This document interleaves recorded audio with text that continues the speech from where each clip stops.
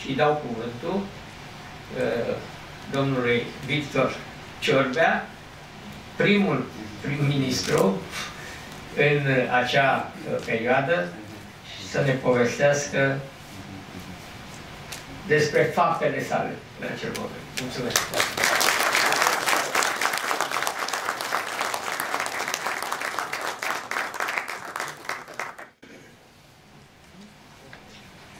Domnule președinte Emil Constantinescu, domnilor prim-ministri, ministri, director de servicii de informații, domnule general de Geracu, doamnelor și domnilor, onorată asistență, dragi tinere și tineri, sigur, în special tinere, dragi. Ehm, sper că mi-acceptați acest uh, accent.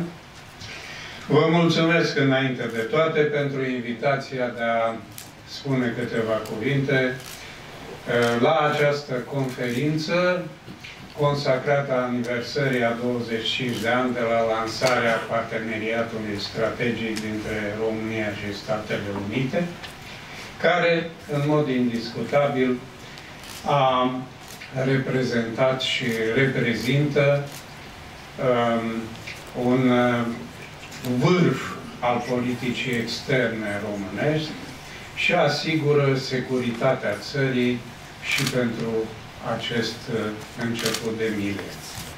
Acum, dacă aș fi răutăcios, aș sublinia, oricum, uh, mandatul meu a fost destul de scurt, 15 luni și jumătate, dar văd că a mai fost redus cu vreo 3 luni.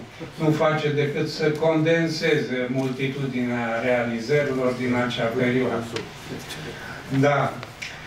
Uh, a continuat până în 30 martie 98. Nu, asta să fie singura problemă. Sigur că față de extraordinara, excelentă expunere făcută de domnul președinte, care a fost alături de Bill Clinton, unul din părinții fondatori ai parteneriatului strategic, uh, aș putea să las să ia cuvântul următorul vorbitor. Dar, totuși, dacă îmi permiteți, voi face foarte telegrafice trimiteri la unele argumente și premize legate mai ales de politica externă care au permis uh, lansarea parteneriatului strategic dintre România și Statele Unite și în mod deosebit momentul uh, uh, vizitei în Statele Unite în perioada 17-25 iunie cu foarte puțin înainte de summitul de la Madrid și de vizita președintelui Clinton în uh, România.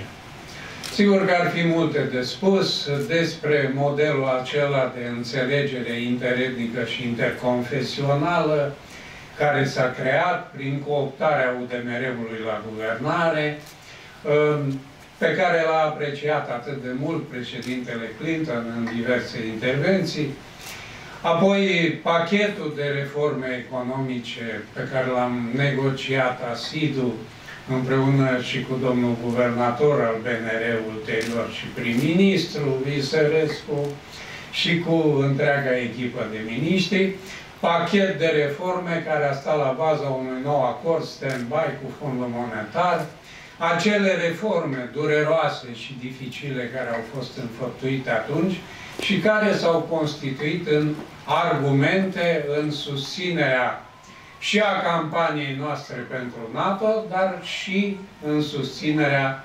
parteneriatului strategic. Nu intru acum în detalii, că nu avem timp. Sunt unii colegi miniștri care pot face trimitere, dacă vreți, la acele reforme de la liberalizarea totală a cursului de schimb și mai ales la închiderea a 30 de întreprinderi care erau puternic energofage și înregistrau pierderi uriașe.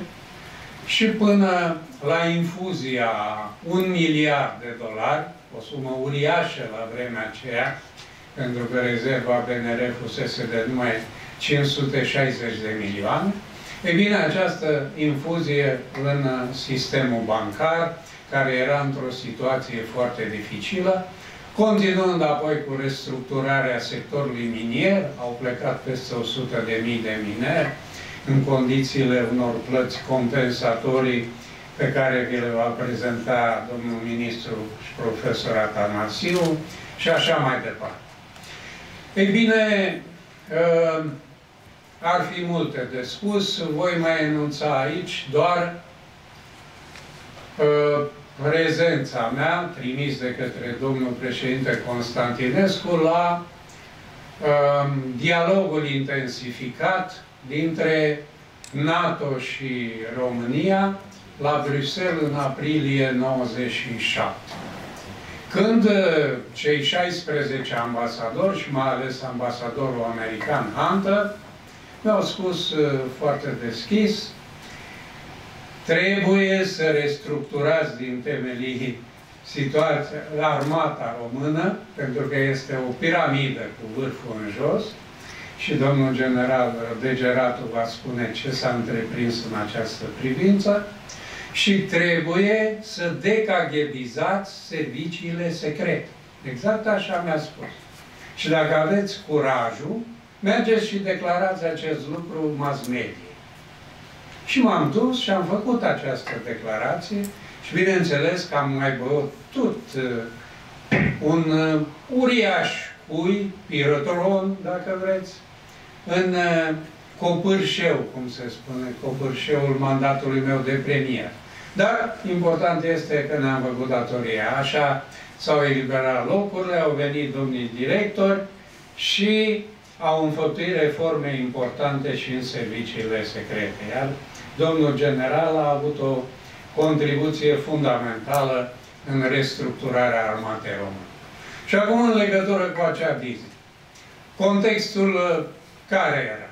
La data de 15 iunie, domnul președinte primise din partea președintelui Statelor Unite scrisoarea prin care eram anunțați primul val al extinderii se va limita la trei state. Deci, practic, în preziua plecării mele, se primise această veste oficial. Pentru că neoficial, ambasadorul Severin, o, ambasadorul, ministrul de externe Severin, o mai uh, recepționase la întâlnire. E bine, în acest context, uh, Domnul președinte m-a chemat încă o dată, am avut o discuție îndelungată, inclusiv pe malul lacului Scroviștea și mi-a subliniat importanța și punctele centrale și argumentele esențiale pe care să le aduc la întâlnirile la vârf de la Washington uh, în perioada vizitei. Vizita a fost foarte bine organizată de domnul ambasador Joana, a avut un merit extraordinar, întâlniri și cu vicepreședintele Gor, și cu doamna Albright, și cu secretarul apărării Cohen, și cu secretarul uh, trezoreriei Rubin, și cu secretarul comerțului, și cu numeroși senatori, președintele Comisiei de Politică Externă, celebrul domn Helms, și mulți, mulți congresmeni, iar domnul Tom Lantoș, congresmen foarte activ și energic, a pregătit altele suplimentare. E bine, la întâlnirea cu domnul vicepreședinte Gor, am mers cu o delegație destul de restrânsă. Eram însoțit de domnul ambasador Joana, de ministru pentru minoritățile naționale, pe care îl luam în fiecare deplasare, pentru că era o certitudine și putea să vorbească cel mai clar, mai concret despre acest nou model de înțelegere interetnică și interconfesională, domnul uh, ministru Tocai, George Tocai. Și au mai făcut parte din delegație secretarul de stat de la Ministerul Apărării, membru al Guvernului, domnul Constantin Dudu Ionescu, și un tânăr uh, director de la MAE, uh, domnul Sorin Ducaru, care ulterior a devenit asistent uh, al secretarului general al NATO. Vedeți că cei care m-au însoțit atunci au ajuns uh, fie la NATO, fie la Cotroceni cu probleme de securitate națională.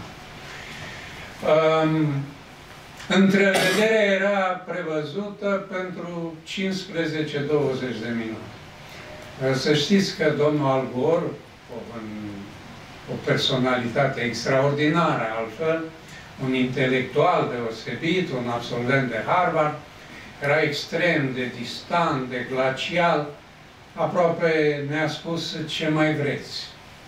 Ne-a și început întrevederea, vi s-a comunicat prin scrisoare care este situația. Și atunci l-am liniștit într-o anumită măsură, spunându-i, domnule vicepreședinte, am venit aici pentru că noi vrem să fim o parte a soluției și nu a problemei. S-a mai relaxat, m-a întrebat în ce constă și am transmis invitația oficială a domnului președinte Constantinescu, adresată președintelui Bill Clinton, de a efectua o vizită în România imediat după summitul de la Madrid. A fost uh, oarecum șocat la început, până a început să zâmbească. Cum adică să vină după summit când decizia va fi negativă? Cum e cu putință? Și atunci noi i-am explicat cu argumente istorice, cu această afinitate extraordinară a românilor față de americani, cu faptul că bunicii noștri au murit așteptându-i ca să ne elibereze de sovietii și am insistat în mod deosebit pe faptul că va fi cea mai reușită vizită pe care președintele american a întreprins-o și va întreprinde în perioada mandatelor sale. Uh, au, a rămas puțin îndoit, dar în acest context i-am lansat uh, ideea esențială a domnului președinte și anume ea fusese transmisă pe canale diplomatice, dar am spus-o foarte clar, nu va veni cu mâna goală, domnul președinte Bill Clinton are ocazia să lanseze la București, împreună cu domnul președinte Constantinescu, parteneriatul strategic dintre România și Statele Unite. A rămas, știa ceva despre inițiativă, s-a calmat mai mult, a, a fost o discuție de circa o oră și jumătate, m-a însoțit la presă, a făcut declarații binevoitoare, Cam la fel s-a repetat scenariul și la Departamentul de Stat. Cu deosebirea că în loc să ne primească direct doamna Albright, pentru care am și eu o considerație deosebită, ne-a primit prim adjunctul, domnul um, Terbot, un foarte mare specialist în uh, spațiul ex-sovietic, care scrisese nu știu câte lucrări, și o oră și ceva ne-a bombardat cu întrebări despre relațiile noastre cu statele vecine, ori domnul președinte tocmai semnase în luna mai ultimul tratat, și anume tratatul uh, de prietenie cu Ucraina și bună vecinătate, crease acele renumite trilaterale ale lui Constantinescu, care erau bine cunoscute deja la Washington, așa încât uh, am insistat pe necesitatea, nu numai utilitatea, necesitatea uh, lansării cu ocazia vizitei la București a uh, inițiativei a parteneriatului strategic dintre România și Statele Unite. Sigur că interesul părții americane a fost subliniat de către domnul președinte. Interesul nostru era firesc pentru că dacă nu intram și s-a dovedit că n-am acces în primul val în NATO, dar prin intermediul parteneriatului strategic am reușit să accedem în următorul val și mai mult decât atât, parteneriatul strategic s-a dovedit poate mai important, mai consistent chiar decât apartenența la NATO. Prin uh, conținutul deosebit care i-a fost dat ulterior, prin intensificarea și consolidarea lui de către președintele Constantinescu și de către colegii care au rămas în guvern sau care ne-au urmat. Cam aceasta ar fi, sigur că au fost multe alte întâlniri și la Washington și la New York, organizate de mari bănci, fonduri de investiții, participare la conferința ONU pentru mediul înconjurător și plasarea mea, nu știu cu ajutorul cui, asta mă uit aici către unii, către alții, la o masă de nouă persoane alături de cine? Și cu asta chiar voi încheia. Alături de cancelarul Kohl, de primul ministru Prodi, de premierul Cernomârdin al Federației Ruse, alături de primul ministru al Norvegiei, de premierul Portugaliei, actualul secretar general ONU, de proaspăt alesul premier al Marii Britanii, Tony Blair, și de președinta UNICEF și vicepreședintele Argentinei. Deci vă dați seama că a fost un cadru extrem de propice pentru a mai lansa unele argumente suplimentare. Aș încheia cu faptul că la 11 iulie, eu cu ministrul de externe Severin, l-am așteptat la Otopen și l-am condus la domnul președinte Constantinescu, pe președintele Bill Clinton și apoi l-am condus uh, spre Otopen.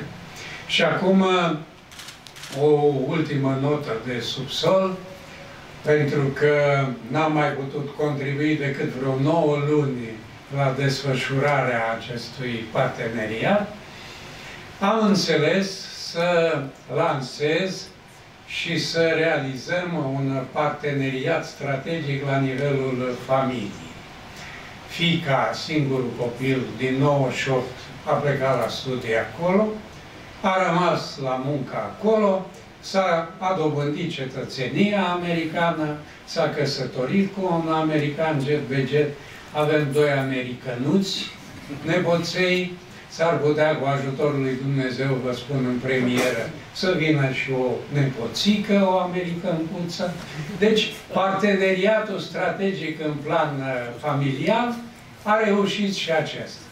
Vă mulțumesc pentru răbdare și mulțumesc încă o dată, domnul președinte, că mi-ați dat posibilitatea să fiu în uh, preajma dumneavoastră în acele momente. Mulțumesc!